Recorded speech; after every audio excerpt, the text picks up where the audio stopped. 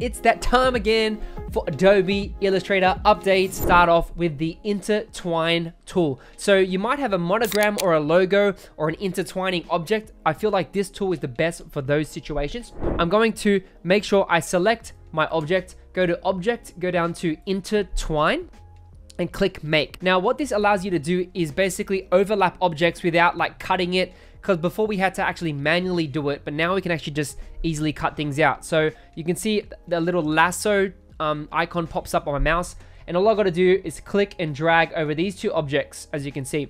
And what it's going to do, it's going to bring the back object in front of the other line. So the pink will come over the orange. So you can see if I miss a section, it's not going to overlap properly. So I make sure that when you do it, you do it properly on the first go. So I'm going to go back. So I'm going to click edit. And then we'll just go back. Just like this. So make sure you do it properly so you don't have to go back and forth. And now you can see we got this cool logo overlapping. And if you go to your layers panel, you can see now it says an intertwine.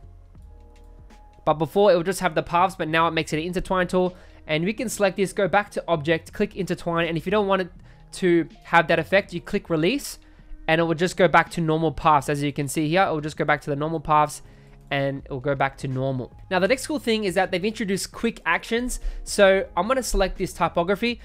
And so if you go to help and click tutorials, you'll get this pop up. If I scroll down, you can see it's got quick actions here. And now I can use any of these text effects. So if I click retro text, it will automatically change my text as you can see there. Or if I want to go back, I'll control Z and click maybe neon glow and it'll automatically apply that effect. And then all I can do is actually click appearance panel on the on the menu here.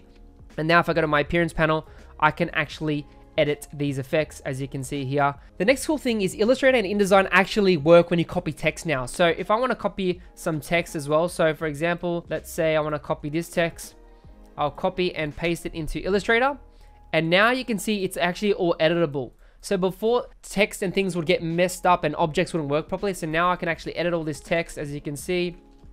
You know, I can type and change the color and whatever. So, and so another cool thing is that they've improved the performance when it comes to linked images or a lot of PNG images in your design. So if you're working on a carousel and you have lots of images, now it moves faster. So you can see I've got all these images. If I click and drag and move them, you can see it's a lot faster there. And as you can see, I can move it. It's a lot smoother and faster and there's no really jitter or lag and it just makes it a lot more smoother. Now lastly, they do have updates to the compatibility with the 3D. So if I go scroll down, you go to quick actions, I can see export 3D object. And if I click on that and go into my asset selection, you can see now they've got a lot of different variations. So they've got GLTF and you know a few of these other ones, right?